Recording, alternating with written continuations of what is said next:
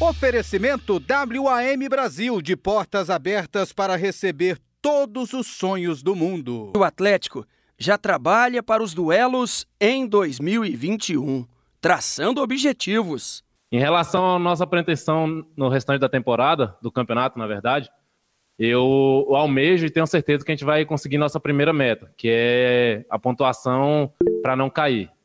Nossa, nossa equipe sabe do que é necessário fazer. É, sabemos que precisamos de pelo menos mais 11 ou 12 pontos. Então, nosso primeiro objetivo é esse. Depois que alcançarmos esses objetivos, pretendemos coisas maiores, mas nosso primeiro objetivo está aí, está para todo mundo, ninguém, a gente não tem nada que esconder de ninguém. É continuar trabalhando, fazer o que vem sendo feito, que a gente vai conseguir o mais rápido possível. Éder também está de olho nas próximas partidas do Brasileirão, contra Vasco e Bahia. Esses dois próximos jogos, para a gente, cara, a gente só está pensando nos seis pontos. Claro que existe um adversário, tem a dificuldade do jogo, então. Mas o nosso pensamento é só nas duas vitórias.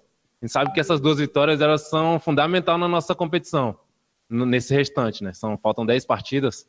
Então, essas duas vitórias, ela meio que nos dá um norte do que, que a gente vai conseguir dentro da competição. E o zagueiro comemora a boa temporada. Eu cheguei, né? Cheguei meio desconhecido pela torcida, pelo meu 2019 é, razoável, não fiz bons jogos no esporte, fiz poucos jogos, na verdade.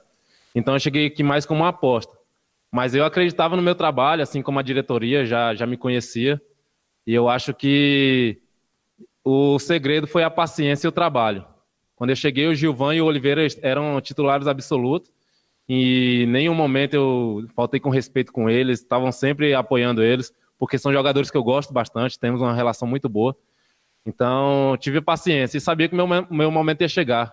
Devido à pandemia, seriam muitos jogos e como o nosso elenco é enxuto, mas de muita qualidade, todo mundo ia acabar tendo essa oportunidade. E quando eu tive, eu procurei agarrar para não sair mais. E hoje eu posso falar tranquilamente que eu fiz o melhor ano da minha carreira, é, com um volume de jogo muito bom e dando qualidade e ajudando da, da forma como eu poderia.